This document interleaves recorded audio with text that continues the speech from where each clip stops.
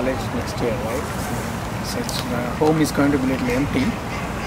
I think uh, Risha is going to miss him a lot. It's a very emotional moment for us Yeah. So, and really proud of him of what all he has achieved so far and wishing him good luck for his future in college and in life. yep, yep.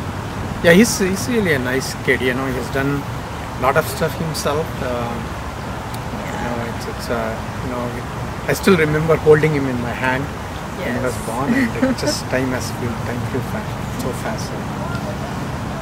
All right.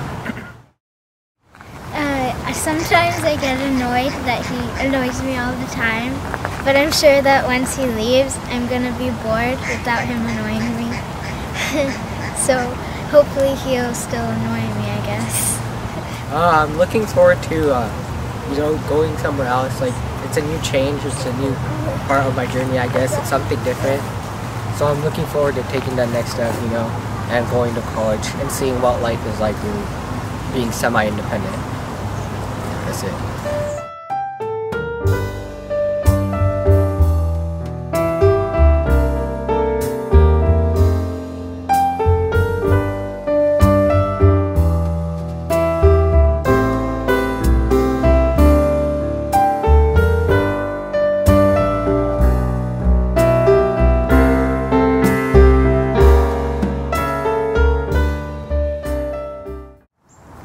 So proud of you for achieving so far and then best wishes, good luck for your future and keep coming back to home once you go for college too.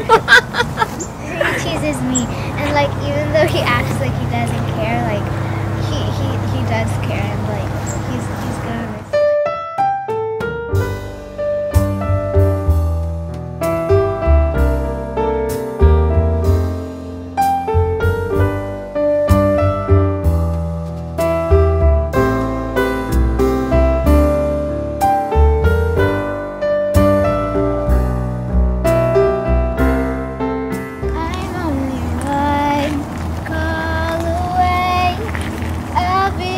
to save the day.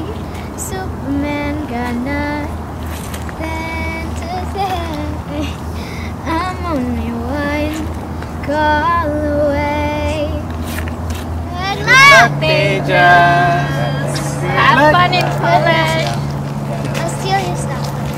Yeah, that was good one.